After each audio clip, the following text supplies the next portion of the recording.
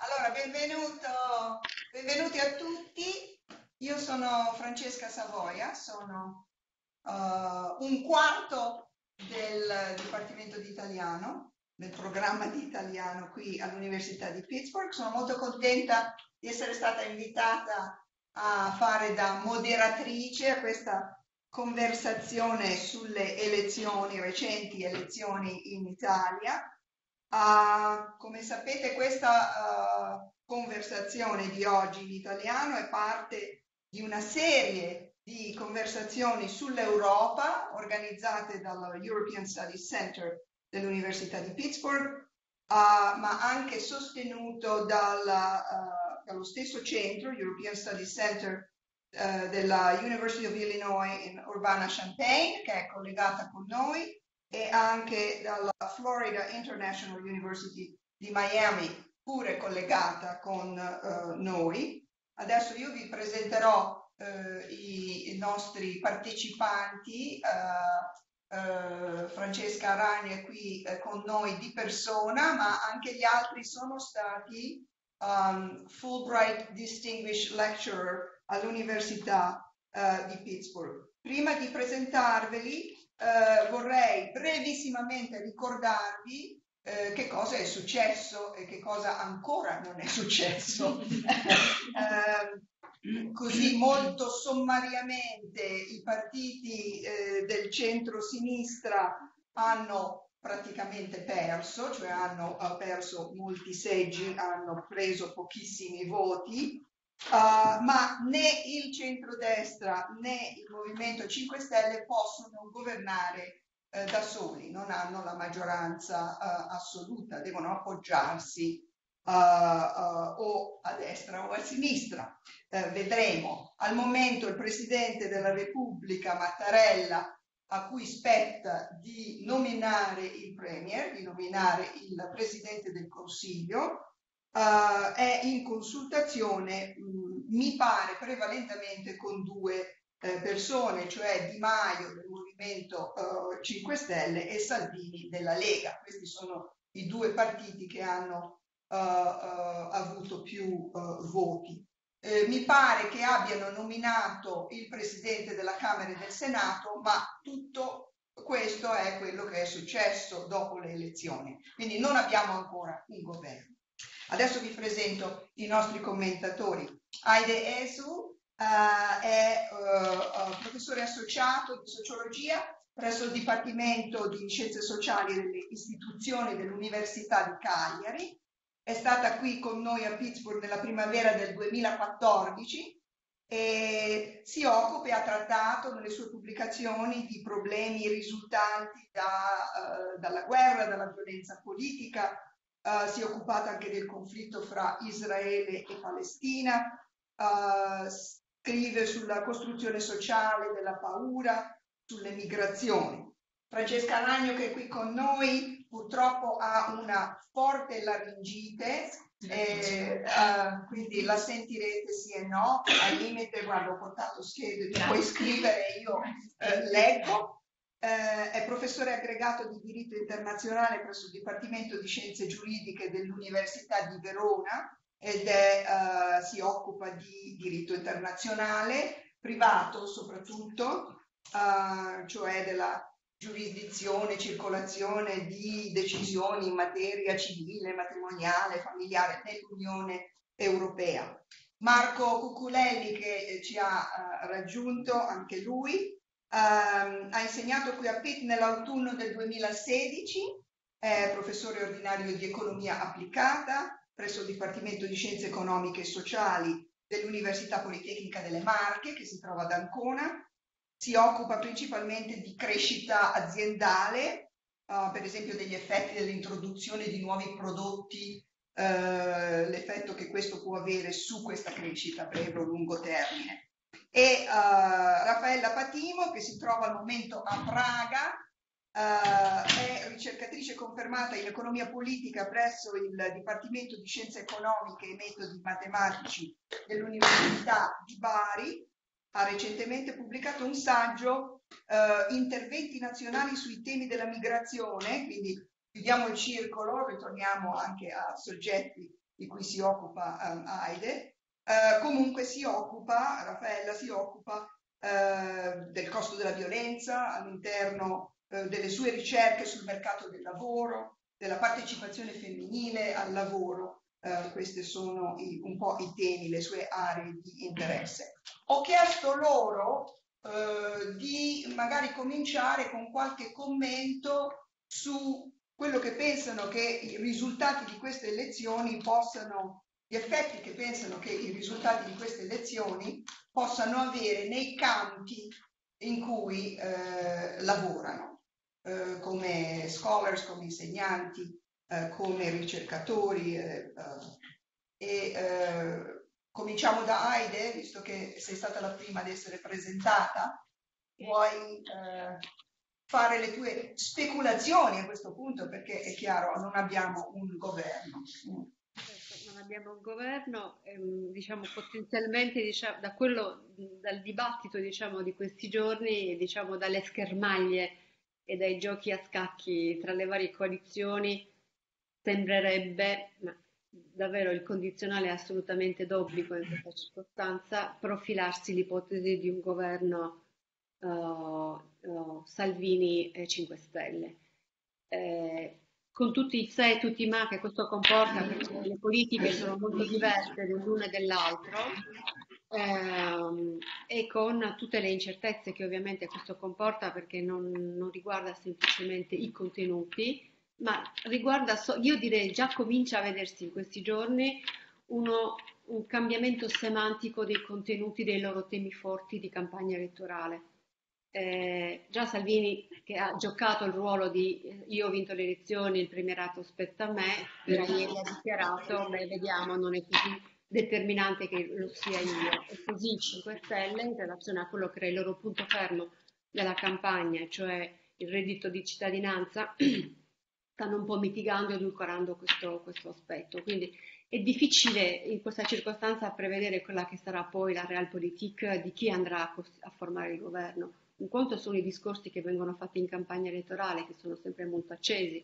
e che servono a spostare l'elettorato in una direzione piuttosto che un'altra. Penso al linguaggio utilizzato uh, in relazione all'immigrazione da parte sia di Salvini e questa sorta di grande ambiguità che 5 Stelle in realtà ha mostrato in relazione alla questione immigrazioni. Uh, quest'estate c'è stata una grande campagna contro le ONG che salvavano gli emigranti in mare accusandole di essere portatrici di interessi particolari. Eh, anche, gli, anche, i giorni scorsi eh, la nave eh, spagnola eh, è stata fermata dalla Procura di Catania. Inizialmente si è parlato di un reato nuovo che è il reato di solidarietà. Eh, fa caponare la pelle soltanto pensare che si possa ipotizzare un reato di solidarietà, però questo la dice lunga su tutta la costruzione della minaccia che i, i, gli emigranti rappresentano oh, in virtù, direi soprattutto, di uh, un problema di competizione di politiche di welfare pressoché inesistenti, perché come sapete i, il crescente numero, i colleghi economisti lo sapranno articolare molto meglio di me questo discorso, la crescita uh, delle famiglie in condizioni di povertà sia assoluta che relativa in assenza totale di una politica di lotta alla povertà da parte del governo uscente, ha fatto sì che eh, il pericolo migrazione venga vissuto in maniera ancora più drammatica, soprattutto nelle grandi periferie che hanno costituito il bacino elettorale per eccellenza, soprattutto per quanto riguarda uh, l'area, del centro-destra e della, della destra estrema.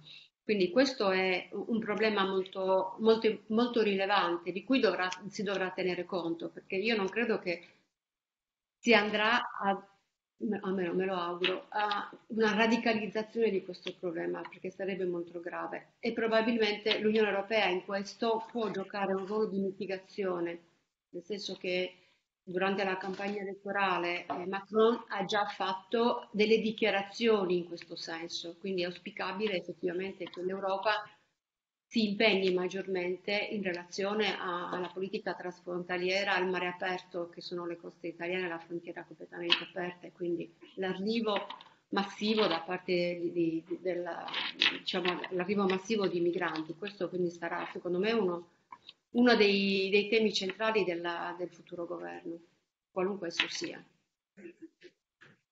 Benissimo, grazie Aide. Francesca, ti senti di... Mi sento, mi scuso, eh, veramente faccio molta fatica a parlare. Eh, in realtà eh, non mi dispiace nemmeno troppo perché non saprei cosa dire, nel senso che è completamente improvvisabile eh, la situazione, nel senso che anche alla luce di quelle che sono state le modifiche di posizioni durante la campagna elettorale sia del 5 Stelle che della Lega rispetto all'Europa, perché siamo partiti da una posizione di eh, ritorno ante Maastricht, fuori dall'euro, invece una rinegoziazione dei trattati, mm. cioè toni completamente diversi. Io onestamente non so davvero prevedere cosa succederà e quale sarà eh, la posizione che manterranno poi a livello di politica estera e non so nemmeno, eh, il mio auspicio è quello che si possa avere in qualche modo la possibilità di avere come rappresentante dell'Italia qualcuno che è già minimamente organico al sistema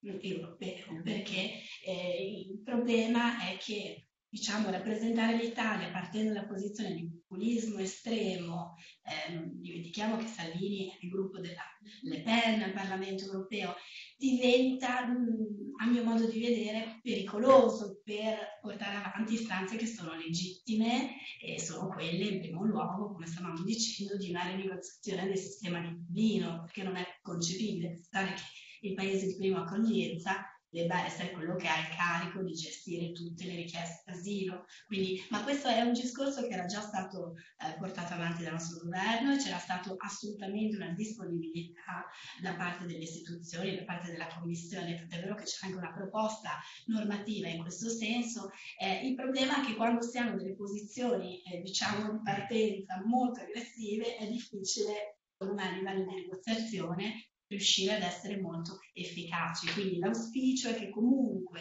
al di là di quella che sarà poi eh, ehm, in qualche modo l'individuazione dell'obiettivo di politica anche europea che si vuole promuovere, ci sia la capacità di capire che i toni vanno comunque smorzati, perché non è possibile pensare di andare in Europa a battere i pugni eh, come si è pronunciato di fare in campagna elettorale, perché siamo in una posizione economica naturalmente non possiamo permetterci un atteggiamento di questo tipo. E poi è inutile parlare di rinegoziazione dei trattati quando i trattati si rinegoziano a condizione di unanimità, quindi bisogna anche Ecco, smorzare i toni, io credo che il compito principale del nuovo governo sia quello, capire che la campagna elettorale è finita e ora si tratta di diventare interlocutori affidabili e seri e responsabili. Mi sembra in questo senso che 5 Stelle eh, lasciano un pochino più intravedere ehm, qualche margine di eh, come dire, stemperamento maggiore rispetto alla Lega, perché da come si sta muovendo Di Maio, da come si è mosso anche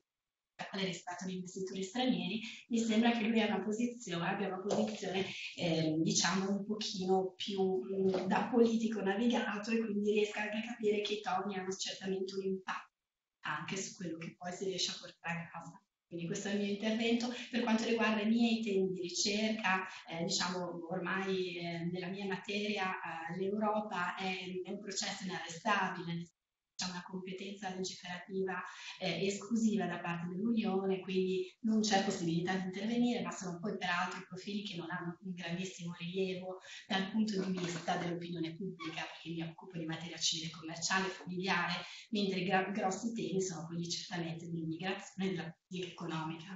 E, e su quello vedremo appunto come ci rappresenteranno. Bene, passiamo a Marco. Marco, hai Oh, l'abbiamo perduto? Ah. Va bene, allora...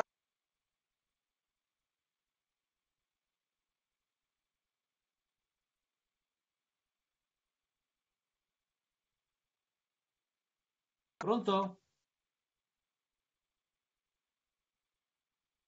Io non vi sento più. Pronto? Sento Marco ma non sento più nessuno. Sì, io sento, io sento, eh, non, però non, non, riconosco di chi è la voce che mi arriva, che mi sente. Marco, io sono Raffaella, sento te ma non sento più nessuno dal... Nemmeno io, né sento né vedo. Vedi che no. Ecco. Ci sentite adesso? Adesso io Sì. sento lì voi. e- e Sì, sento io sento. Sì, sì, sì. Benissimo. Eh, non abbiamo Marco in video, ma abbiamo Raffaella. Allora, intanto che aggiustano eh, il tuo video, Marco, faccio parlare Raffaella. Ah, va bene. Sì. Adesso credo Prego. di vedere lo schermo del computer di qualcuno io invece che vedere voi, ma va bene uguale, voi mi vedete, sì. Sì, sì, ci- ti vediamo Ok. e ti sentiamo Io non bene. vi vedo più, per cui se mi volete fermare avvisatemi con, con eh, la voce. A voce. Eh, Sì. sì, eh, adesso vedo ancora uno schermo. Comunque, ehm, cosa dire? Che eh, diciamo, forse già presagendo il risultato delle elezioni e la confusione, il caos che sarebbe venuto fuori, io ho programmato da tempo questo visiting a Praga, nella Repubblica Ceca, per cui il 17 marzo sono venuta qui e questo lo dico a parte diciamo, il tono scherzoso per dire che ehm, sto seguendo eh, ovviamente via notizie internet, quindi mh, eh, stampa eh, via internet eh, elettronica, ovviamente continuando a seguire la situazione per quello che si riesce a seguire. Quindi un po' partendo sia da quello che ha detto Aide che quello che ha detto Francesca, io concentrerei eh, l'attenzione de- eh, su quello che è stato detto, perché è stato detto tutto il contrario di tutto durante la campagna elettorale, dal- dalle stesse persone, con alcuni, con alcuni che, che fossero organismi di stampa o dei media che si sono divertiti un po' a mettere a confronto quello che era stato detto la settimana prima con quello che era stato detto la settimana dopo, assolutamente in contrasto. Però diciamo a questo siamo abituati un po' le- la campagna elettorale, eh, le, le passate campagne elettorali ci hanno anche abituato a questo, ma soprattutto eh, per quello che mi riguarda, per la mia attenzione così eh, eh, de- da deformazione eh, da ricerca mia personale e sulle, eh, chiamiamole elegantemente, fake news, sui falsi miti eh, che sono stati pubblicizzati durante la campagna elettorale, tipo rimetteremo i dati o tipo rinegozieremo i trattati, come ha detto Francesca. Quindi instillando ehm, questa sorta di eh, eh, aggressività, per esempio, nei confronti di tutto ciò che riguarda anche le politiche europee, senza che magari le- eh, gli stessi esponenti, ehm, eh, gli stessi candidati avessero bene in mente le competenze che in quanto futuri primi ministri italiani avrebbero potuto avere. I dazi noi non li decidiamo più dal 1968, forse qualcuno dovrebbe andare a dirglielo, ok? E, come diceva Francesca, i trattati non si rinegoziano così al Quirinale, no, al Quirinale, a Palazzo Chigi, o, o bi- bisogna, c'è un, un- un grandissimo analfabetismo per quanto riguarda tutto ciò che eh, riguarda l'Europa. Ed è, credo, non, non- non credo che sia una nostra esclusiva, eh, ahimè, eh, credo che sia un, diciamo, un qualche cosa che, ehm, una radice comune probabilmente, adesso Heidi mi scuserà se uh, diciamo, in- interferisco un po', ma una radice comune per la nascita di questi populismi, perché la mancanza di informazione, l'ignoranza su determinate tematiche, da parte anche di chi poi quotidianamente eh, deve gestire, ha la governance di, queste, eh, di questi grandi temi, eh, fa sì che vengano alimentate delle, eh, delle castronerie tremende nel- nell'opinione pubblica, tipo cosa fare con i migranti, eh, quanto ci sono necessari i migranti o quanto non ci sono necessari, ammesso che si possa parlare di necessità sulla migrazione che ha motivazioni economiche, perché la migrazione che ha motivazioni umanitarie, io su quello diciamo non, non ci provo neanche ad esprimermi. Siamo stati migranti anche noi un secolo fa, anche meno. Pittsburgh eh, ci ha insegnato parecchio anche sulle ondate di immigrazioni eh, della metà del secolo scorso. Quindi anche, anche, su questo vengono a rubarci lavoro. Le, le, le, ricerche economiche e demografiche sono piene di dimostrazioni del fatto che i migranti non sono sostituti al lavoro eh, domestico, al lavoro nazionale, sono esattamente complementari, come succede in parecchie parti delle, del mondo eh, d'economia avanzata.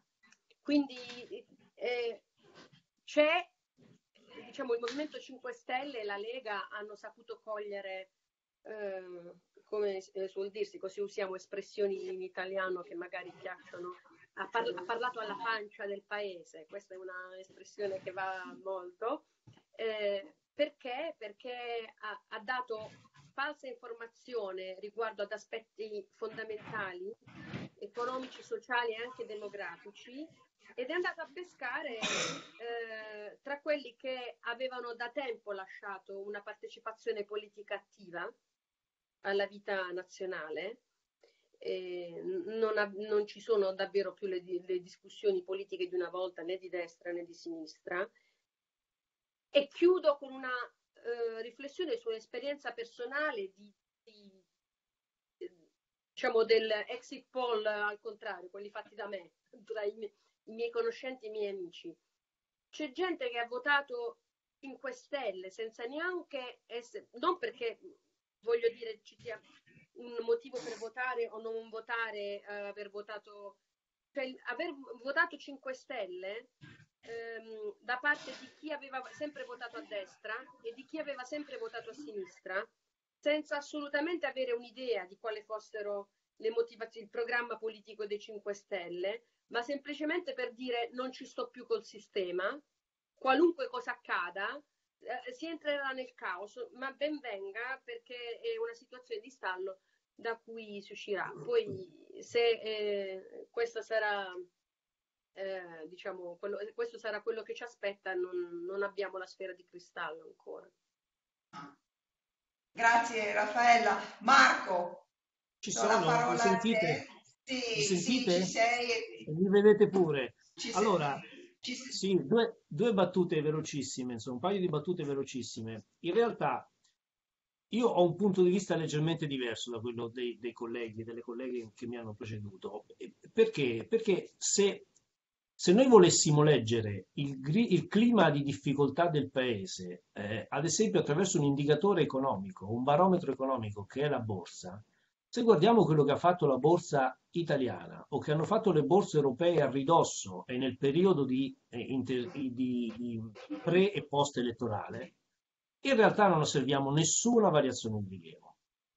Direi una frazione di quello che sta accadendo adesso con l'affare Facebook, se vogliamo fare un paragone ehm, eh, che, che, che, è vicino, che, è vicino, a tutti.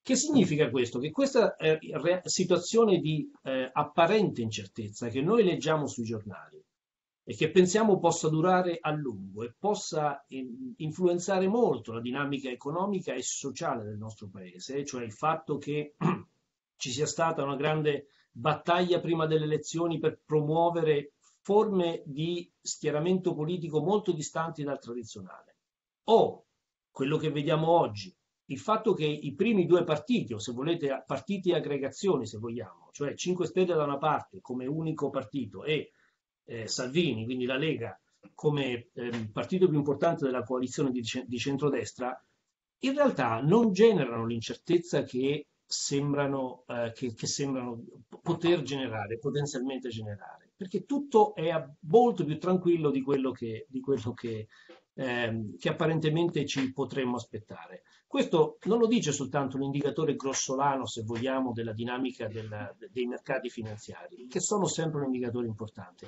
ma anche l'economia reale. Se guardiamo quello che ha fatto l'economia reale del nostro paese, dell'Italia, insomma, negli ultimi, se vogliamo, sei mesi o negli ultimi due semestri, nell'ultimo anno, in presenza di assolute turbulenze dal punto di vista eh, politico, in effetti ha ripreso un sentiero di crescita totalmente staccato e scollegato con quella che era la dinamica politica sottostante. Questo perché? Perché ormai abbiamo, insomma, l'analisi economica ci dice da, da tempo che eh, i quattro quinti in genere della crescita dei paesi che sono nell'area euro dipende dall'Europa e non dipende da quello che il singolo paese fa. Quattro quinti significa che l'80% del percorso di crescita di qualsiasi paese, Germania compresa, per la quale questo, questo, questo rapporto forse pesa appena un po' di meno, ma marginalmente di meno, non eh, totalmente di meno, ehm, è fortemente influenzato da quella che è una dinamica esterna. Ora, questo, come dire, inquadrare e inserire in questo framework il, i, i, risultati delle elezioni italiane, delle elezioni italiane ci fanno in qualche modo, eh, ti, non voglio dire tirare un sospiro di sollievo, ma sicuramente ridimensionare un po' quella che è questo grande veste o questa grande ehm, eh, area di incertezza che eh, noi siamo soliti attribuire alle, alle, a queste elezioni. Io da questo punto di vista sono un po, più, eh, un po' più ottimista non perché penso che i partiti che probabilmente dovranno governare questo paese nei prossimi cinque anni saranno in grado di mettere in piedi realmente delle operazioni significative, ma perché molto del lavoro sporco per loro sarà fatto dalla driver dell'Unione Europea e dalla congiuntura internazionale alle quali le nostre imprese sono in grado di agganciarsi. Questo è quello che in qualche modo mi fa, come dire, dare preponderanza alla lettura economica del fenomeno politico che stiamo, che stiamo discutendo. Questo paese è un paese, voi lo conoscete, ricchissimo di piccole e medie imprese, soprattutto di medie imprese che oggi insomma, snobbano quasi tranquillamente la politica perché hanno capito che la loro sopravvivenza e la loro crescita è assolutamente, non vorrei dire slegata, ma assolutamente non legata pochissimo legata a quella che è la, la, la dinamica politica, insomma, la, la, deriva, la deriva politica, sia essa di sinistra o di destra.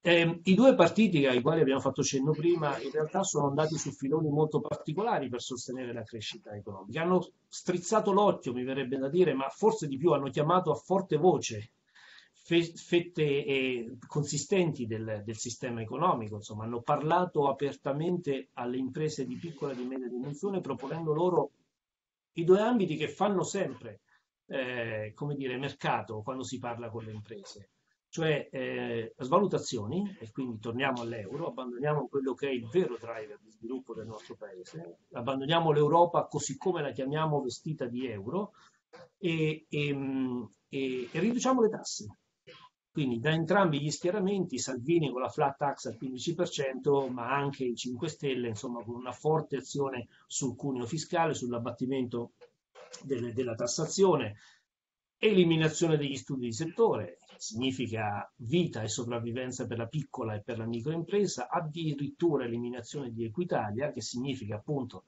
dare, ridare spazio a un settore che, che è il settore più subito, insomma, l'atteggiamento coercitivo e, e, di, e, di, pressione, per non usare il termine oppressione, dei, dei precedenti, precedenti governi. Sono, queste sono azioni che in qualche modo possono aiutare, secondo me possono dare una mano. Non credo che siano totalmente deliberate da questi, da questi partiti, ma credo che possano nella sostanza, nella buona sostanza, dare una mano ehm, al, al, nostro sistema, al sistema produttivo. Quello che manca realmente, in aggiunta se vogliamo alla cozzaglia di provvedimenti che questi due schieramenti hanno messo in piedi in maniera molto raffazzonata, senza una logica di fondo, insomma, spesso più richiamando ehm, nomi e sigle piuttosto che reali, ehm, che reali ehm, azioni strategiche, quello che realmente manca è quello una cosa buona che il governo precedente aveva fatto grazie al, al lavoro di Calenda, che voi ricordate, il ministro dello sviluppo economico che aveva messo questo paese nel, in questo filone grosso della digitalizzazione dei sistemi produttivi, insomma l'industria 4.0, 4.0 che non è un fenomeno italiano, ma è un fenomeno insomma, che parte dagli Stati Uniti, ripreso dalla Germania e esteso dai, dai tedeschi in realtà in tutta Europa, era forse l'ambito sul quale noi ci eravamo mossi in maniera un po' più, un po più vivace. Noi abbiamo una fortissima base manifatturiera, la, la, seconda base manifatturiera europea è tra le prime al mondo, insomma, il nostro paese può vantarsi di questo, di questo, di questo, di questo primato. Ahimè, purtroppo io non sono riuscito a trovare nei programmi dei due, dei due governi, che, dei, due, scusatemi, dei due partiti che probabilmente avranno la leadership politica di questo paese nei prossimi mesi eh, nessun riferimento a questo tema, se non blandi e generici riferimenti di facciata a quelle che possono essere eh, le tecnologie che stanno dietro questa storia.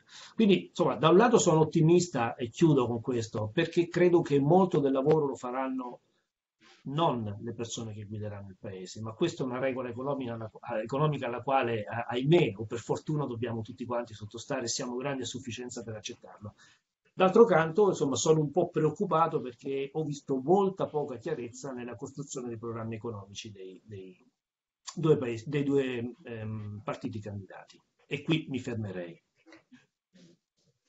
Benissimo, grazie ai nostri commentatori. Io aprirei adesso la discussione invitando anche eh, i ragazzi, gli studenti eh, che sono alla University of Illinois o alla uh, Florida International University a partecipare e farci un cenno se c'è qualcuno che vuole parlare in modo che possiamo eh, attivare eh, eh, l'audio per voi. Um, avete domande o partiamo noi? Come... No? Allora, eh, Illinois? No, non, non rispondono. Va bene, allora cominciamo noi la, la conversazione. C'è qualcuno qui che vuole eh, fare una prima domanda a generale a tutti e quattro i nostri partecipanti o uh, uh, marcata ad uno. Sì? Matteo? Sì, okay. eh, Matteo rompe il ghiaccio. Ok, bello. Eh, no, ho, ho, letto un sacco di cose um, sulle elezioni e um, ho visto tante persone che parlano di una coalizione tra il Movimento 5 Stelle e la Lega, però mi chiedo come potrebbe, come potrebbe essere possibile fare questa coalizione e soprattutto se avete idee di chi sarà nominato il Premier. Uno di voi vuole rispondere? Raffaella? In Abbiamo... io, suggerivo Aide perché oh, che la sfera di per la domanda direttamente ad Aide, sicuramente lei lo sa. Va bene, allora Aide. Mi organizzo con la mia sfera di vetro e vi racconto che cosa c'è dentro la sfera. Credo che questa sia una domanda che ci poniamo tutti. Esatto. Eh, e credo che, non lo so, nei prossimi giorni avremo delle grosse. Il 3 aprile il Presidente della Repubblica incontrerà i rappresentanti delegati dei partiti per un primo incontro e sulla base di questo attribuirà l'incarico di formazione del governo a, uno, a una coalizione o ad un'altra eh, sulla base anche degli elementi di valutazione che lui av- avrà in quella sede. In questi giorni si continuano a ripetere diciamo, delle possibili e dei potenziali scenari. Di fatto delle situazioni di apertura, ieri sembrava che ci fosse una situazione di apertura di un potenziale accordo tra 5 Stelle e, e la Lega, in realtà una parte radicale delle 5 Stelle stamattina ha dichiarato mai con la Lega. Quindi sono anche processi interni ai partiti o raggruppamenti politici, per cui è assolutamente molto molto difficile riuscire a, a identificare vie o potenziali strategie. Eh, se, se, devo fare una valutazione rispetto a quello che si è visto tra venerdì e sabato mattina per l'elezione del Presidente del Senato e del Presidente della Camera, su alcune cose si è vista di nuovo la vecchia politica che è la politica degli accordi tra partiti, eh, per, non tra partiti, tra raggruppamenti elitistici dei partiti e che per salvare, diciamo, sostanzialmente una coalizione si è riproposto come Presidente del Senato, che ricordo è la seconda carica dello Stato e che in caso di malattia o di impedimenti da parte del Presidente della Repubblica diventa il Presidente della Repubblica. Abbiamo visto eletta una donna che ha manifestato davanti al Tribunale di Milano invocando parlando di colpo di Stato semplicemente perché un magistrato ha portato alla sbarra Silvio Berlusconi per il processo su Rubi. Quindi questo ci dà un po' la misura della vecchia politica che è tornata, nonostante durante la campagna elettorale si sia parlato a lungo di rinnovamento, soprattutto da parte dei 5 Stelle, e quindi l'aver raggiunto l'accordo sull'elezione di un profilo politico così compromesso mi fa pensare che anche i gruppi che parlano di innovazione in realtà, pur di uh, mantenere una posizione determinante nella formazione del governo, assumeranno delle prassi politiche vecchie. E questo non è affatto incoraggiante. Sì, uh, posso, io... posso, aggiungere? Prego, prego Marco. Sì, se posso, sono totalmente d'accordo con, con quello che dice la collega. Ovviamente se posso aggiungere su questo, semplicemente per ricordarci quello che è successo quando Renzi, quindi parliamo di cinque anni fa, andò, eh, andò al governo e da rottamatore e il primo atto in realtà formale che fece fu incontrare Berlusconi, la persona della quale aveva parlato male fino a cinque minuti prima e con lui fece il patto del Nazareno, insomma, che poi ebbe sorti alterne, ma è un segnale chiaro di come poi le cose si ricompattino subito, immediatamente dopo finita la campagna elettorale, in tutti i paesi, forse in Italia più che in altri paesi. Su questo tema io volevo intervenire brevissimamente, magari per ispirare anche gli altri a, a, a fare eh, ulteriori domande.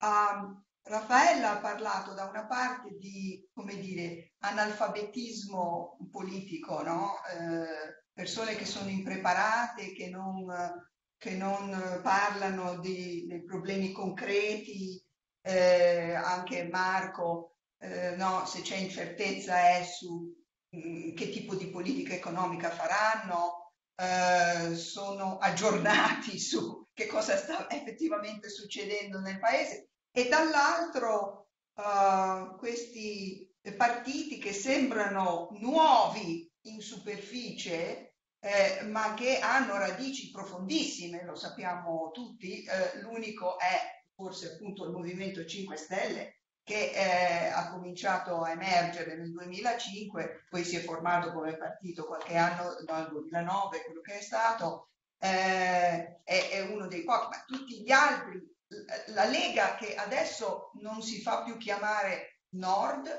uh, e si è presentata per la prima volta su tutto il territorio italiano.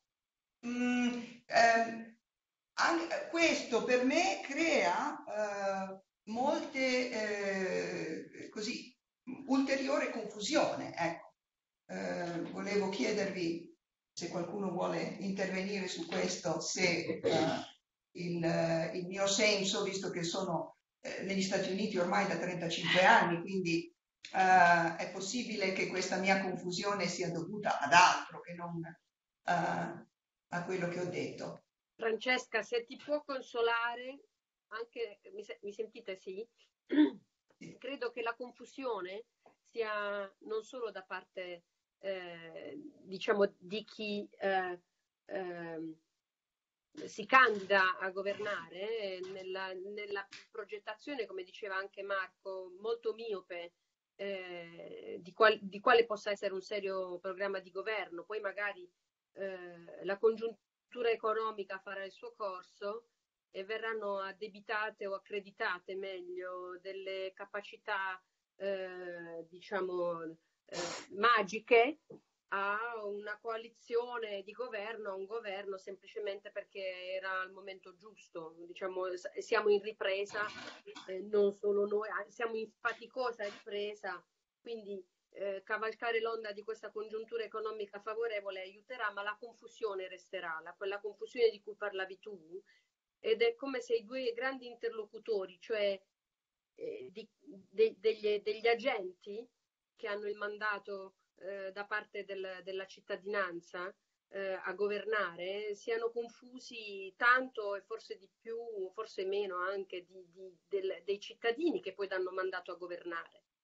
Non, non esiste, l'ho detto prima, lo ripeto, non, esiste una vera partecipazione attiva, forse anche quello, a parte l'analfabetismo che ha a che fare con la, con la, la vita e la partecipazione politica, eh, che investe un po' tutto, dalle amministrazioni locali fino a non capire, l'anno prossimo voteremo per le elezioni europee, eh, è l'anno prossimo, vero? E, eh, io continuo a vedere, eh, a capire di essere circondata da giovani e meno giovani che non hanno assolutamente idea di quale sia il mandato che danno ogni volta che votano i loro rappresentanti al Parlamento europeo che da un, da un, certo punto di vista è più comprensibile, no? perché l'Europa la vediamo sempre Bruxelles, eh, è il capo espiatorio. Però, diciamo, demandare così alla confusione imperante anche il proprio destino, quello dei propri figli, senza un, una deadline, senza una scadenza, mi sembra davvero fuori da ogni immaginazione. Sì. Bene, scusate, sempre sì, con questa voce per rispondere a Matteo, non so, però magari i colleghi che sono in Italia forse sono più aggiornati, ma si è parlato la settimana scorsa anche di un governo di scopo funzionale alla modifica del sistema elettorale. Questa è una prospettiva attualmente che si discute tra Lega e 5 Stelle, cioè l'idea di fare un governo funzionale appunto a modificare la legge elettorale per poter, sì, per poter fare in modo di avere più consenso e avere naturalmente una maggioranza tale da consentire ai vincitori di governare senza appunto accordi che in qualche modo snaturano la loro stessa identità. È questo uno scenario eh, di cui si discute attualmente? Eh, non in questi giorni. Non, in non questi mi pare. Giorni pare che proprio no. si sia tornato, giusto Marco? Non si è parlato di questo in questi giorni? No, no, no, non mi, pare, non mi, non mi pare. Se ne è parlato, ma come dire, anche in, in, questo caso il fatto che noi abbiamo questa legge elettorale oggi non è casuale. Questa è stata una legge elettorale che il centro-sinistra ha caldeggiato lungamente da due anni a questa parte, sapendo che non avrebbe avuto le maggioranze necessarie in questa elezione. Quindi questa è un'operazione insomma, che, che, ha una lunga ehm, ehm, gestazione, non è casuale. E io temo che per quanto siano Salvini e Di Maio le due forze che sono oggi le più forti in Parlamento, in realtà credo che non abbiano né la forza né forse nemmeno l'interesse a rimettere in discussione addirittura la legge elettorale per fare, quindi il governo di scopo per fare una legge elettorale per Ehm, non, non, è, non, non, è, bene chiaro quale si possa essere l'obiettivo di, di, di, questo, di questa dinamica. Io non credo che sia, che sia praticabile insomma, l'idea del governo di scopo. Io vorrei aggiungere una considerazione sulla questione delle leggi elettorali. Allora, in Italia si parla di riforme elettorali ormai da vent'anni. Ecco l'affermazione della Prima Repubblica che è cominciato col passaggio dal sistema proporzionale al sistema maggioritario e da quel momento è cominciato una discussione senza fine perché ogni coalizione governativa cerca di pensare a quella che è la miglior legge elettorale in funzione della ricerca della propria maggioranza. Allora, in realtà la questione della legge elettorale nasconde un problema politico grande, è veramente l'elefante nella stanza che nessuno vuole vedere, e che è il problema della crisi della politica è la crisi di contenuti, è una crisi di leadership, è una crisi di strategia, una crisi di visione politica. E quindi la legge elettorale diventa ogni volta questa specie di prosciutto negli occhi che ci mettiamo perché pensiamo che tutto dipenda dal fatto che non si è potuta costituire una maggioranza salda, che in realtà poi si trovano gli accordi, perché io ricordo ancora gli incontri in streaming di, di Bersani con i 5 Stelle in cui si diceva no, con i 5 Stelle noi non discuteremo mai, ok? E quindi in virtù di, del fatto che il mandato che aveva ricevuto Bersani, che cos'era? Una non vittoria, come l'aveva definita, no? Quindi mh, anche dire, scusate, finalmente questa volta il PD ha avuto il coraggio di dire abbiamo perso, vabbè la sconfitta era così plateale che è impossibile non dirlo stavolta. Ma era assurdo la volta scorsa che usare questa definizione della non vittoria giusto per non riconoscere che si era persa, si erano perse le elezioni e che non c'erano i numeri in Parlamento per costituire una maggioranza di governo uh, salda. Okay? E quindi si è arrivati a questo compromesso, a questo governo che alla fine era un governo di scopo, nessuno l'ha mai chiamato un governo di scopo, per, però tutti questi anni siamo stati amministrati da un governo che aveva anche visioni molto divergenti e la ragione per cui su alcune politiche noi siamo estremamente deboli non abbiamo avuto una politica di lotta alla povertà e venivamo richiamati costantemente dall'Unione Europea perché insieme alla Grecia siamo stati e ancora siamo il paese che non ha un piano straordinario di lotta alla povertà.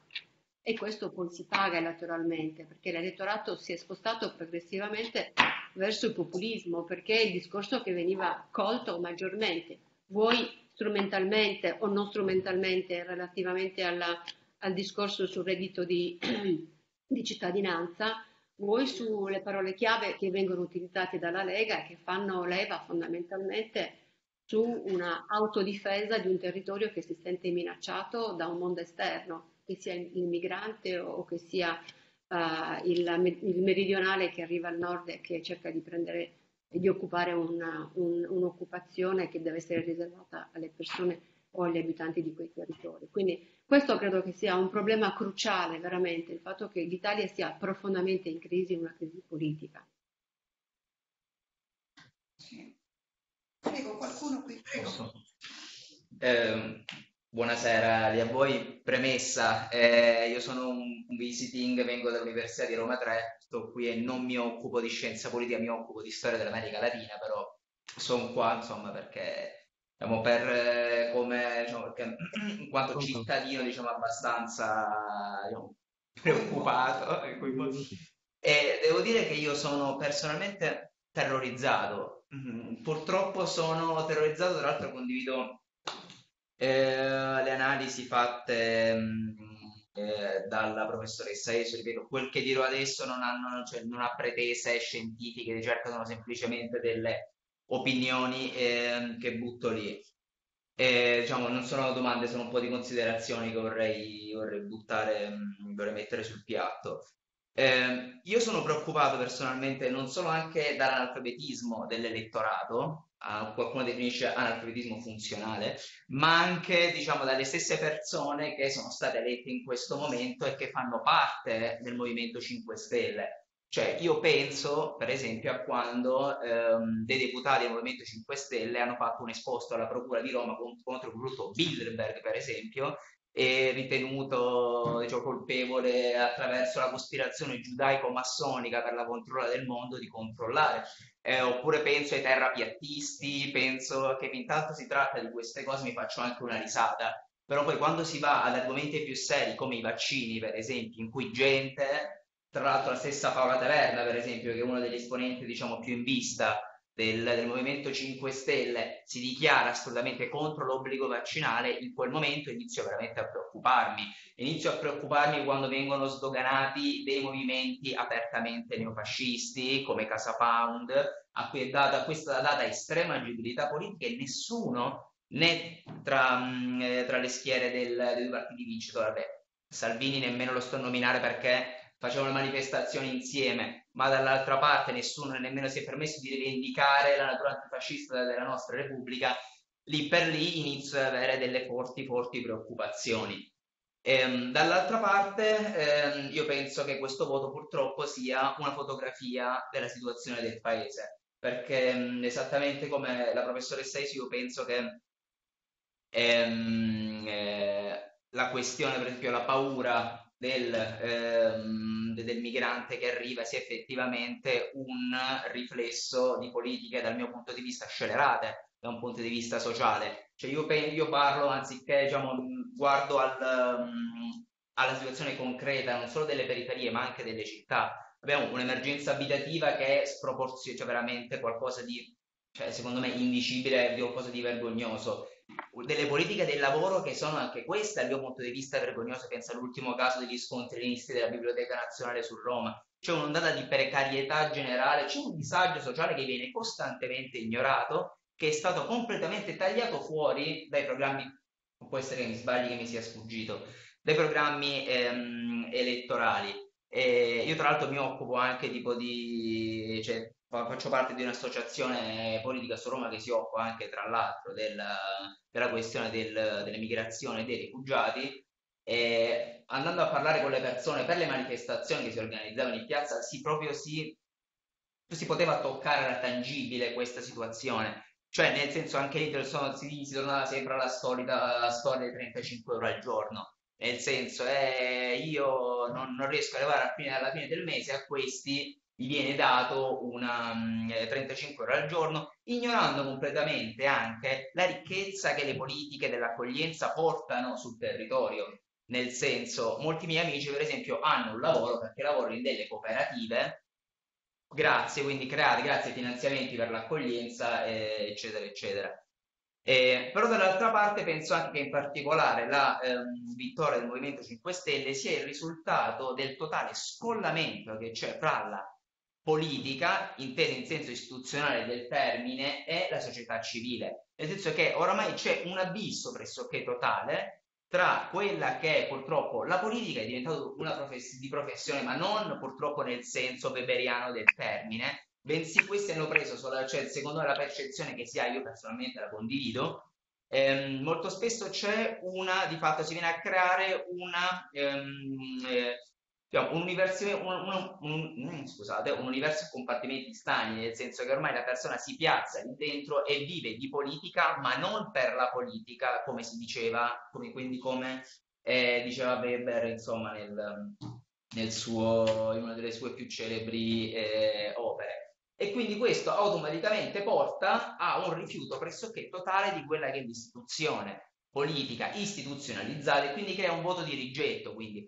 proprio pur di non rivotare le stesse persone che ci hanno affamato, che vedo completamente lì a mangiare, eccetera, eccetera, voto un partito di antipolitica che d'altro canto dal mio punto di vista antipolitica non lo è affatto, anche perché tanti dei rappresentanti del Movimento 5 Stelle hanno esperienze politiche pregresse, tra l'altro io sono della provincia di Brindisi, c'era una, eh, una deputata recentemente eletta che praticamente viene dalle schiere della Poliportone, per esempio di Adriana Poliportone.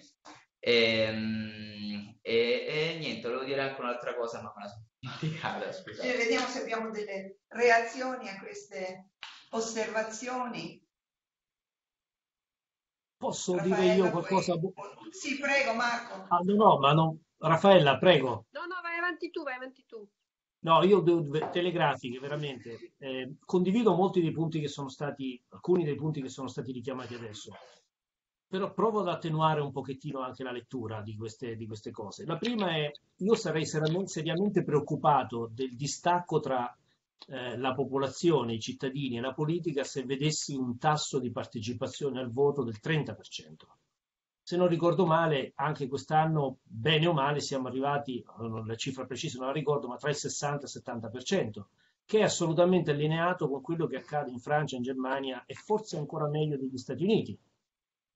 Quindi, insomma, se questa è la dinamica trasversale tra paesi, tutto sommato, come dire, sì, preoccupazione, ma per tutti, quindi mal comune, non dico mezzo gaudio, insomma, però non parlerei con toni così esasperati della, del, de, di questo distacco dalla politica. Temo che questo sia più qualche cosa che, insomma, eh, ad arte alcuni usano per eh, far breccia su alcune fette della popolazione o parti della popolazione che sono sensibili a questo tema piuttosto che un reale effettivo problema. Secondo punto, vado telegrafico anche su questo. Se non ricordo male, perdonatemi per la, gener- per la genericità insomma, e per la inesattezza, però qualche mese fa la Germania ha impiegato parecchie settimane a fare il governo. Mesi. No? Parliamo del paese, eh? Sei mesi. Settimane, parecchi mesi, non volevo dire parecchi mesi, no, ha impiegato parecchio tempo, no? nonostante fosse, se non ricordo, se non vado errato, il terzo mandato potenziale per la Merkel, d'accordo? E quindi, insomma, una struttura, la Germania che sicuramente va bene, estremamente bene dal punto di vista economico, molto bene dal punto di vista politico, perché è comunque un pezzo importante dell'Unione Europea, beh, questo insomma ci fa eh, ridimensionare un po' no? anche quelli che pensiamo essere problemi solo nostri, italiani. No, questo è un tratto comune del modo con il quale le, le, le democrazie funzionano. E questo scollamento sul quale io sono molto d'accordo, insomma, però tendo a ridimensionare tra la componente pubblica eh, dei cittadini che votano e la componente partitica, credo che faccia molto parte del gioco, insomma, sia una parte importante che, chiudo con questo, dal punto con una lettura ottimistica, eh, io, come dire, vedo eh, il fatto che ci sia un realmente nuovo partito, cioè i 5 Stelle, che sono al, da circa dieci anni nel, in Parlamento, da meno di dieci anni in Parlamento, eh, come ehm, l'unico fattore che può realmente aggiungere qualcosa a questa dinamica, che è una dinamica assolutamente lasciata a quella che è la politica ehm, alla quale non solo noi come Italia, ma in generale tutto il mondo è abituato. Quindi, insomma, da questo punto di vista mi sento di ridimensionare le preoccupazioni del collega di, di, di Roma ed essere un po' ottimista per il fatto che l'inserimento di nuovo legato ai 5 Stelle può essere un fattore che tutto sommato contribuisce, anche se non ne condividiamo gli ambiti, ma contribuisce a dare alla politica una chiave di lettura innovata. Raffaella, vuoi aggiungere qualcosa? Allora, molto brevemente eh, mi riallaccio a quest'ultimo punto, il punto sulla partecipazione politica e questo scollamento di cui parlava Marco, perché in effetti uno potrebbe leggere eh, eh, diciamo il successo anche del Movimento 5 Stelle come un, un traghettamento da vecchi sistemi, vecchi partiti politici che non soddisfacevano più nessuno, che avevano allontanato eh, le persone dalla politica, a una, un nuovo tipo di partecipazione. Però da questo punto di vista a me preoccupa, preoccupa eh, la modalità, oppure meglio la, la, ehm, la pubblicità che il Movimento 5 Stelle fa della sua democrazia eh, via internet. Perché se poi uno va a vedere i numeri con cui eh, vengono fatte le, par- le cosiddette parlamentari o il numero di voti con cui ehm, il candidato premier è stato designato candidato premier, eh, rispettivamente 36.000 per, sessa, per 40 milioni di persone, facciamo così, prendiamo solo, e, e di 400. E allora eh, farei un po', eh, diciamo, sarei un po' più attenta io personalmente a chiedermi come, come cittadino è il tipo di democrazia verso cui vogliamo andare, cioè la, la democrazia attraverso internet è questo? Io spero di no, soprattutto se poi uno va a vedere l'utilizzo e la diffusione dell'utilizzo di internet nelle famiglie italiane.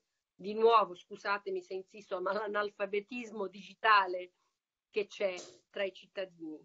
Allora, se questo è il modo di fare politica da parte di un partito, del partito che ha riscosso il maggior successo, e ci vedo uno scollamento nel senso che c'è quel tipo di partecipazione via internet eh, quindi molto limitato, e però evidentemente a tutte le loro attività via internet, via web, e quel 33% di voti che hanno avuto evidentemente non ha partecipato. Quindi mi chiedo che, quale sia la vera natura, cioè di agitare semplicemente le acque, di portare avanti, per carità, i vecchi partiti ci hanno abituato a, veramente al peggio, quindi nessuno chiede il, il, il ritorno di, di, di, qualcuno che non ha saputo governare o che meglio ha governato negli ultimi vent'anni e non ha fatto nulla e poi magari eh, si limita a riproporre obiettivi che erano stati eh, diciamo eh, messi nel programma anni fa. Io l'ultimo punto, l'ultima osservazione che faccio e prendo questo schema che ho eh, sui vari mh, eh, grossi ambiti dei programmi elettorali Ehm, che Repubblica ha sintetizzato, eh, sono sul sito della Repubblica, no? Volevo mm, in forma comparativa tra, varie, tra i vari partiti e le varie coalizioni.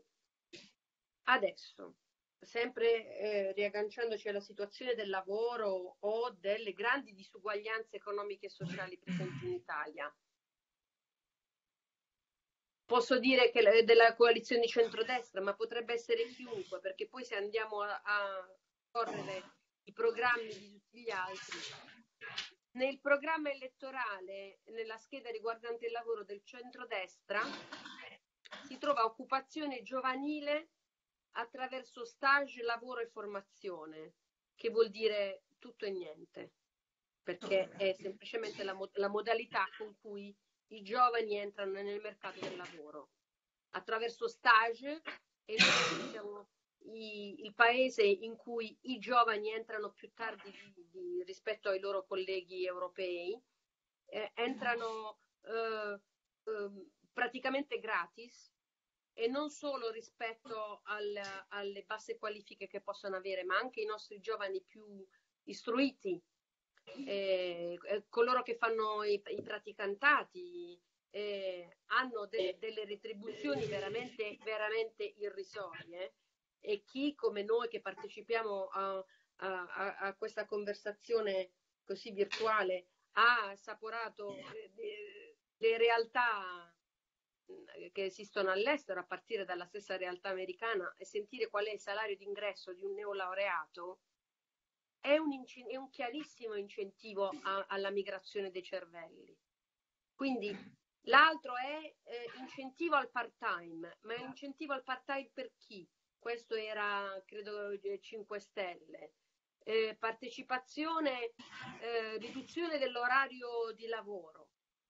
Cioè, è vero, questi ho preso i grandi titoli del programma relativo al lavoro, cioè di fondo un, una, una, grande ehm, eh, idiosincrasia tra quello che è il sistema dell'istruzione e le competenze che vengono date a tutti i livelli scolastici fino all'università e quello che il mondo delle imprese chiede.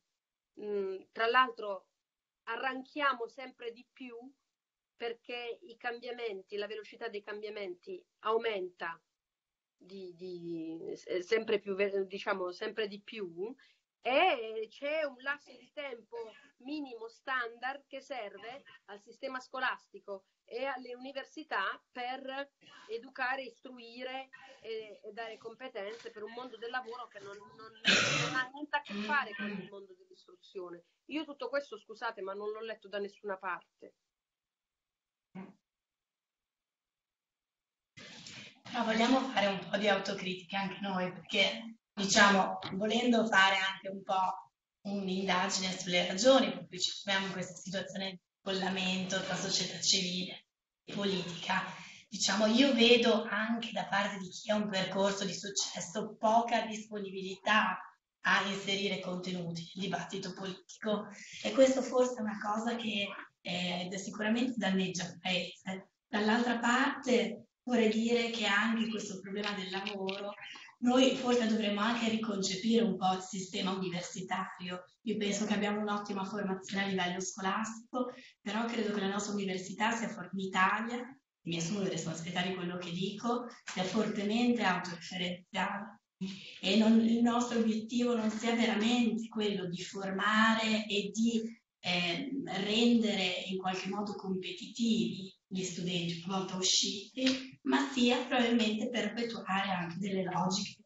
eh, di, gestione del potere, insomma, accademico che, che, ancora ci sono. Quindi io in questo senso sono curiosa di vedere i 5 Stelle, perché questo è un punto su cui hanno premuto abbastanza. Eh, questo rientro dei cervelli, questa meritocrazia anche a livello universitario, che secondo me ha un effetto benefico anche in generale sulla società civile, sono curiosa di vedere come potranno portarlo avanti, perché io credo che questo sia anche un elemento problematico, cioè al di là del fatto che non ci siano politiche del lavoro, però pensiamo anche di riformare un pochino il nostro percorso universitario e anche nostro, la nostra modalità eh, di, di, insegnamento. Devo dire questo per chi di noi è stato Fulbright, qui è incredibile vedere il riscontro che c'è a lezione con gli studenti, l'interazione, eh, sono tutti sistemi che da una parte mm, in qualche modo gratificano il docente, dall'altra eh, secondo me mm, costituiscono anche una grande risorsa per gli studenti che diventano più sicuri, diventano più capaci di interagire. Io vedo che gli studenti italiani sono in qualche modo, ehm, hanno sempre un atteggiamento molto passivo a livello di apprendimento e questo forse si ripercuote negativamente anche nella fase della ricerca del lavoro perché mh, si è forse meno propositivo di quello che la società oggi ci chiede. Anche il fatto che ci si sposti. Io credo che la mobilità internazionale sia una ricchezza per tutti, quindi anche spesso questa polemica sul fatto che i giovani in Italia, magari dopo un corso di eccellenza, siano costretti ad emigrare. Io devo dire la, la leggo in maniera un po' più critica perché credo che dovremmo veramente cogliere anche le, eh, le opportunità che l'Europa soprattutto ci ha dato e ci dà e vivere questa eh, nostra capacità di spendere la nostra professionalità a livello europeo come davvero qualcosa di non scontato. Mm-hmm. Certo, l'Italia è un bel paese, si vuole tutti vivere in Italia, però è anche importante secondo me capire che quando si investe sulla propria istruzione si compete su un mercato che non è più un mercato nazionale e non deve necessariamente essere, nella mia opinione. E, uh, fissandomi un attimo Francesca, sull'Europa. Posso solo... Sì, sì, prego. Un, diciamo, una breve riflessione su quello che ha appena detto Francesca. In realtà quelle riforme le fa il governo. Quindi la riforma dell'università eh, la, la, doveva fare il governo che c'è stato, i governi precedenti, dove Infatti, sono stati vediamo cosa fare gli accademici e quindi adesso vedere se con questo governo, se mai arriveremo da quale che sia, esatto, quale che sia, fare la riferma. Quanta attenzione c'è stato sul mondo accademico eh, eh, da tutti i punti di vista, dallo studente matricola al, all'ultimo, al, al, grado più alto de, de, de, degli accademici. Io sinceramente non l'ho visto nei governi precedenti che sembravano partire con una buona predisposizione verso l'accademia. La verità è che si investe pochissimo nella, nella ricerca sia pubblica che privata. E è una, una piccola chiesa, me che sono nata Erasmus e alla veneranda età che, che porto dietro, sono ancora qui con un, una scholarship Erasmus in questo scambio, non, non, non, non ci trovo nulla di, di, di negativo nel, nel, nel, migrare, l'ho fatto per motivi di studi, per lavoro, ma è sempre stata una scelta, non è stata un'imposizione. Eh, il, il, brain exchange, lo, lo, scambio dei cervelli va bene, la fuga dei cervelli no. Va bene che i, i nostri ragazzi siano mobili verso l'estero, non, non è più estero. Se l'Unione Europea quello mi, mi, per quello che mi riguarda non è estero. L'estero comincia magari a Pittsburgh o altrove, però questo significa, significa che se i giovani eh, sono messi in condizioni di andare fuori e dovremmo mettere eh, i giovani eh, che vengono da altri paesi dell'Unione Europea o da altri paesi di venire. Ma chi viene da noi? A quali condizioni? A parte pizza, sole e mandolino, ecco. Grazie Raffaella. Ho una domanda qui di uh, Gemma che vorrebbe chiedere, uh, secondo voi, uh, appunto qual è il futuro dell'Italia nell'Europa, se i partiti vittoriosi non sembrano poi così europeisti. I partiti vittoriosi sono la Lega e il Movimento 5 Stelle e quindi questa domanda dice, beh, c'è un po' di incertezza qui, quali saranno, quale sarà l'effetto sui rapporti dell'Italia con l'Europa. Aide, vuoi dire qualcosa? Sì, mm, mi riallaccio a due cose che sono state, se per, mi permettete, anche se il discorso sull'università ci appassiona e ci porterebbe a discutere forse per molto più tempo, però vorrei aggiungere due cose importanti perché sono legate ai processi di cambiamento della società italiana. Io credo che l'università sia il luogo più impermeabile ai cambiamenti. Lo sappiamo tutti come è strutturata l'università italiana, i meccanismi di cooptazione, il non riconoscimento se non sulla base, nonostante i tentativi della valutazione e della meritocrazia, però noi in questi ultimi dieci anni abbiamo subito delle trasformazioni che hanno portato l'università ad avere sempre meno soldi, a reclutare sempre meno persone e le poche persone che vengono reclutate sono dei precari e a subire un processo di burocratizzazione interna spaventoso e a non avere fondi per la ricerca. Vi ricordo che negli ultimi dieci anni abbiamo avuto due call per i fondi nazionali di ricerca. È in corso, diciamo in questo momento, sta per chiudersi eh, la seconda call e l'Italia rispetto agli altri paesi europei è il paese che investe meno in, in ricerca e innovazione. Quindi il processo di blocco sociale della società è strettamente legata a quello che non accade dentro l'università e l'altro, condivido pienamente quello che diceva eh, Francesca prima, c'è un processo proprio di formazione di quella che diventa la classe poi dirigente del paese, cioè i nostri studenti sono degli studenti passivi, sono come dei contenitori vuoti, stimolarli a fare domande anche su problemi di autorità è difficilissimo. Io ieri forzavo i miei studenti a leggere il titolo di Repubblica e il titolo di, uh, di, Libero per vedere le differenze fra i due giornali e capire perché quei due giornali titolavano, facevano i loro titoli in quel modo, ma veramente li ho dovuti forzare a interpretare il titolo del giornale. Era un tentativo per spingerli a riflettere su quello che ci sta accadendo. Ora, questo è molto preoccupante perché sono alla fine cittadini, cittadini meno informati, cioè noi dovremmo formarli a essere informati, a essere dei cittadini, delle teste pensanti che fanno delle scelte consapevoli e di fatto non lo sono. Ha ragione Francesca quando dice il loro atteggiamento è lo stesso atteggiamento che hanno nei confronti del mercato del lavoro. Quindi il tentativo, qual è il massimo tentativo che possono fare? Andare a Londra perché fare il cameriere a Londra è più figo che, che fare il disoccupato a casa, è un po' questo, però è, è disarmante pensare che noi stiamo investendo nella formazione di persone che poi andranno all'estero a fare, a fare, i camerieri. E questo è poi alla fine strettamente legato a quello che accade anche politicamente, al processo della disaffezione politica. Tutti si aspettavano, eh, e ha ragione Marco su questo, una grande eh, disaffezione a queste, a queste elezioni. In realtà, con grande sorpresa, gli italiani sono andati a votare, però sono andati a votare facendo delle scelte in cui ti dicono non ci sto più con le cose che tu hai fatto prima. Quindi il PD nell'arco di tre anni ha perso il 20% dei voti, che è una, una quota enorme se ci pensate, è veramente una quota enorme. E una parte di quell'elettorato non ha, ha votato 5 Stelle oppure ha, ha votato scheda bianca per segnalare a quel partito che c'è un problema di cambiamento, di cambiamento interno. E il processo di cambiamento investe tutti, e anche a scala europea, io credo che investirà 5 Stelle e investirà la Lega di Salvini, perché gioco forza, se loro vorranno governare dovranno moderare il loro linguaggio, dovranno moderare i loro contenuti. Tutto il velleitarismo anti-europeista verrà sicuramente mitigato da una sana realpolitik inevitabilmente. Questo poi avrà ovviamente delle conseguenze politiche con il loro elettorato, però di fatto cominceranno a moderare i, te, i toni e i contenuti, inevitabilmente. Altri di voi, Marco? Ah, totalmente d'accordo su questo punto, su quest'ultimo punto in particolare e sul punto toccato sull'università che si richiama a quello che diceva Francesca all'inizio.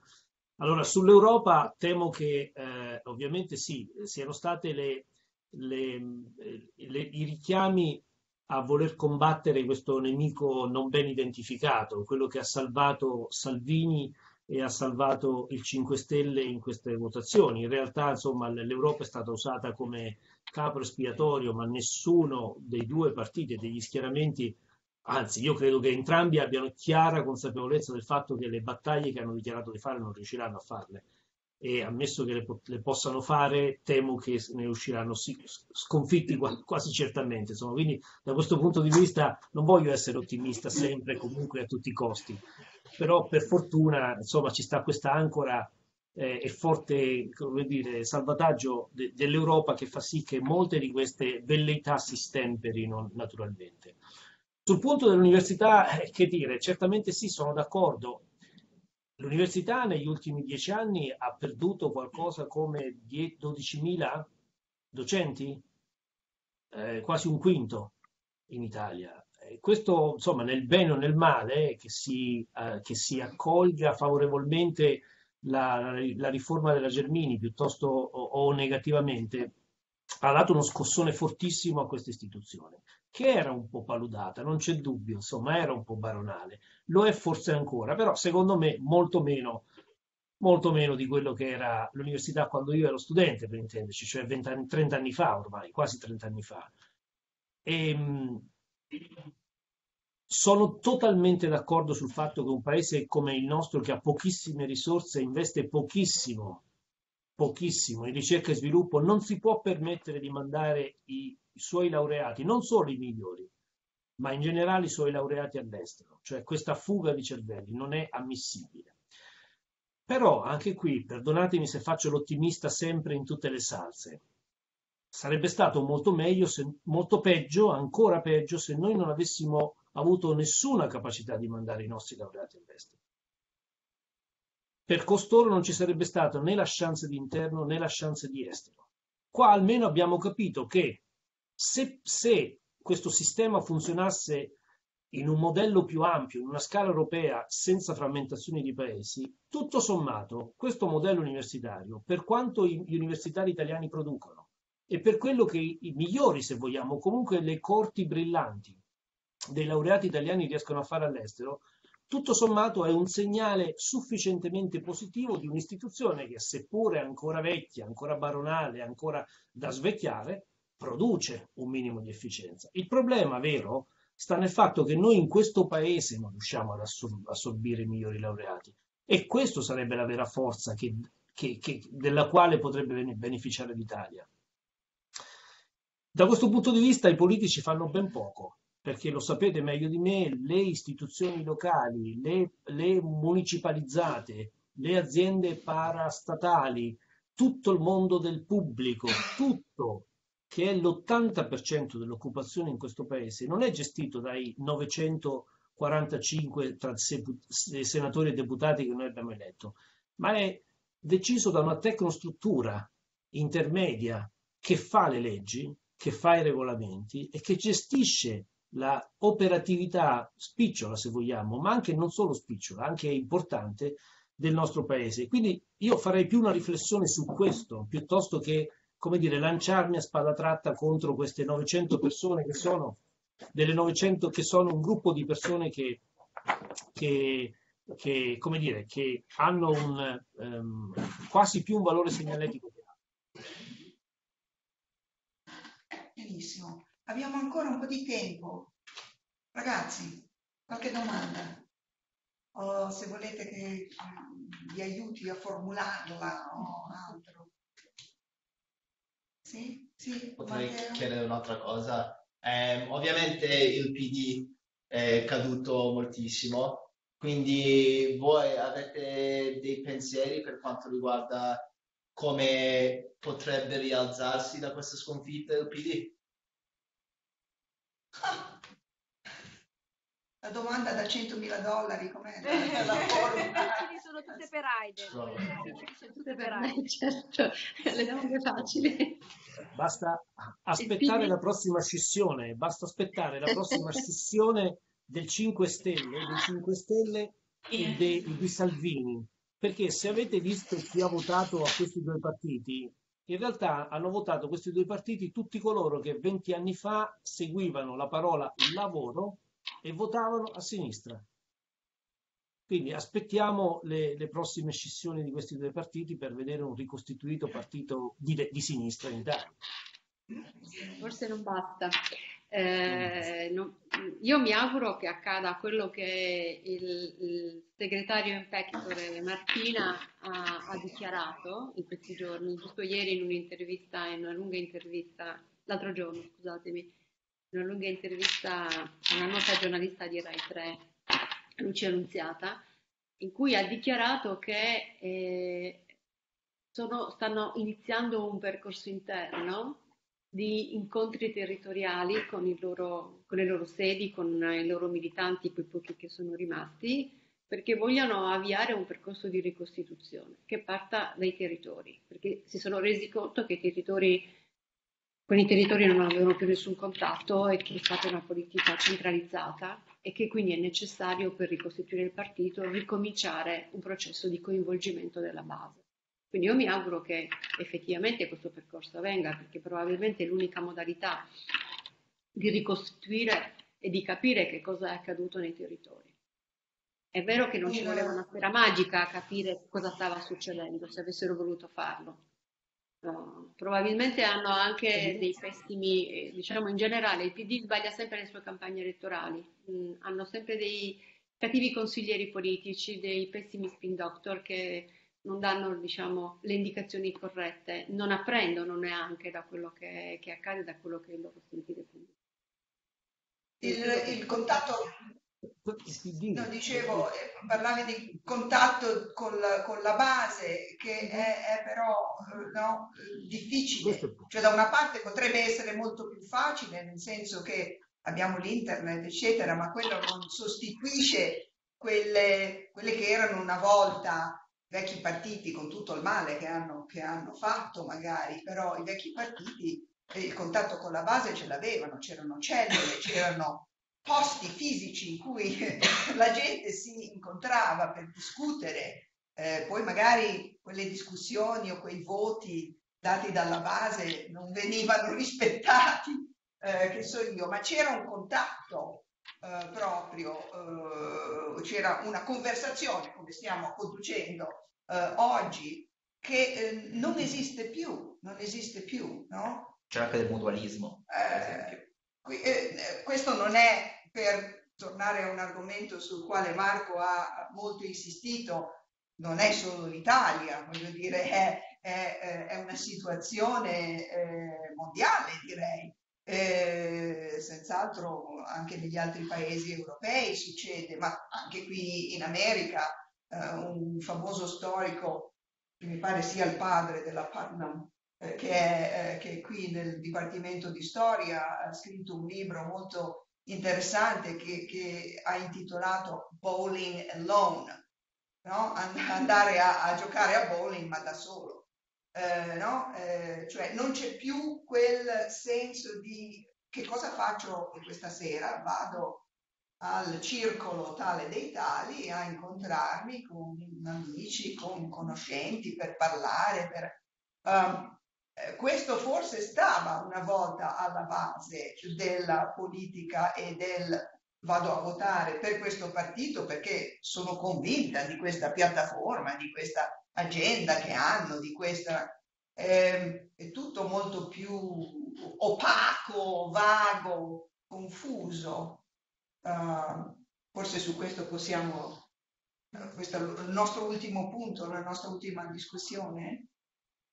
Sì, sono d'accordo, senz'altro è così. E il problema è un problema anche culturale, nel senso che i giovani, io non sono molto lontana da essere giovane, ma non sono più giovane, però io ricordo la mia di studentessa è stata di autogestioni, di volontà di partecipazione anche diciamo nel piccolo che era vicino a noi, quindi l'organizzazione, magari un servizio mensa a scuola, qualcosa di piccolo. Ecco, non so quanto questo ci sia ancora e io credo che coltivando questa volontà di investire sulle proprie idee, questa volontà anche di rinnovare, di modificare, migliorare la società sia cruciale per far sì che i cittadini davvero si riappass- riappassionino rispetto alla politica. E credo che questo, diciamo, io ho due bambine piccole, sia compito anche nostro nel, nella nostra, diciamo, dimensione individuale, quello di cercare di mettere dei contenuti che poi i, quelli che sono adesso bambini, bambini o giovani potranno in qualche modo decidere di eh, perseguire e di amplificare volendo. Questo secondo me è veramente un problema culturale, non lo vedo solo in Italia. No, no, no assolutamente. Cosa ne pensate, Aide? No, no, condivido quello che dice Francesca, però penso che quando mh, il PD pensa diciamo, a riattivare un processo di eh, ricostruzione del tessuto politico con i territori, non pensi soltanto a, alle forme tradizionali dell'organizzazione politica, ma a esperienze importanti fatte in Italia. Penso per esempio all'esperienza fatta in Puglia da, da SEL, Nichi Vendola, le fabbriche delle idee, cioè dei processi partecipativi che vedano davvero i cittadini al centro di una progettazione nuova dei contenuti politici, che soltanto in questo modo si possono ricostruire dei legami importanti, perché i cittadini sanno cosa vogliono, hanno anche delle idee molto innovative hanno bisogno di qualcuno che li metta insieme, che li guidi, nel senso che gli crei le condizioni per poter uh, prendere delle decisioni comuni. Ci sono molte più idee, l'Italia è molto più innovativa nei territori di quanto noi non pensiamo, sì. sicuro. Questo non C'è è anche molta voglia di fare. Ah, C'è anche molta voglia di fare. Credo che questo sia una delle leve sulla quale bisogna, bisogna giocare molto. È vero. Prego Marco e Raffaella. Sì, Raffaella. sono Oh, Marco. Raffaella, vai, vai. No, Marco. No, prego Marco, siamo su di te adesso. Ah, ok, no, sono totalmente d'accordo. C'è molta più voglia di fare di quella che fare all'esterno e tanto più si va nei territori piccoli, la provincia se vogliamo, le piccole realtà, le città con 10.000 o 20.000 abitanti, tanto più ci si rende conto che questo è un paese veramente molto vivace e molto viva- vitale, molto diverso da quello che appare se si guarda soltanto Roma e, e Milano, o se vogliamo, o, o le principali città del paese. Sul, sul, sul, sul PD, sull'esito del PD, io insomma, provo ad essere un po' meno, un po' più smaliziato, se, voi, se, se, vogliamo, se me lo permettete, insomma. Cioè, secondo me c'è proprio un problema di base. È vero che Martina dice torniamo alla base, ma l'impressione che ho io è che la base che cerca lui non esista proprio più. E quindi il fatto che abbiano perduto qualche milione di voti non sia semplicemente perché il 60% dei votanti hanno preso una sbornia prima di andare a votare. Cioè è stata l'ubriacatura di voler votare sempre e comunque in disaccordo con l'establishment. Ma sia proprio legata al fatto che questa base manca, perché questo paese sta cambiando realmente. Quelli che, eh, quel, quella parte di popolazione che era interpretata dal PD di dieci anni, di dieci anni fa, oggi non esiste più o esiste e ha cambiato casacca definitivamente, quindi temo che questa sia una partita, partita perduta del PD. La mia battuta iniziale, aspettiamo a che le fronde e le frange di 5 Stelle e di, ehm, e di Salvini si stacchino, era una battuta, ma in realtà ha questo come concetto. Cioè una parte di popolazione si è definitivamente staccata da quel format, da quel modello e temo che sarà un lavoro molto faticoso. Non invidio il PD, anche perché anche perché, chiudo veramente telegraficamente su questo, il PD è quello che ha i tentacoli informativi migliori in questo paese, che ha sviluppato in decenni di capacità di gestire la rappresentanza anche a livello locale molto, molto eh, territorialmente molto disaggregato. Quindi se fa questi, se, se ha questi risultati, non è, io temo, non sia un errore strategico o un errore di interpretazione e analisi dei dati, ma sia una reale caduta nella base eh, di votanti di questo, di questo partito. Raffaella, ti, Raffaella, ti, eh, l'ultimo commento. Allora, siamo, l'ultimo siamo... commento, eh, sposo la scia dei commenti ottimistici dicendo semplicemente anche rispondendo alla domanda di prima su quale sarà poi l'effettiva attitudine dei mh, partiti che sono usciti vittoriosi. In realtà l'Europa tanto eh, criticata, l'Unione Europea tanto criticata, ha comunque sempre un forte appeal. Basta entrare in mm. qualche stanza dei bottoni lì eh, tra Roma e il resto per venire subito catturati dal fascino eh, di questo originalissimo, immenso eh, esperimento sociale umano, prima di tutto, prima che ancora politico-economico, che è l'Europa. E, eh, questa per me è una nota di speranza, nel senso che sì, è vero, stiamo attraversando una fase di, di cambiamento eh, non solo economico e politico, spero anche culturale, eh, dove per cambiamento culturale non, non, intendo il distacco dalla nostra cultura, ma intendo una trasformazione di quello che è il funzionamento eh, della nostra società eh, di arrivare a un'effettiva par- parità eh, che in Italia eh, manca ed è trasversalissima, non conosce colore di partito, è molto trasversale, un'effettiva parità nei ruoli di genere, eh, nelle posizioni sia apicali che di base.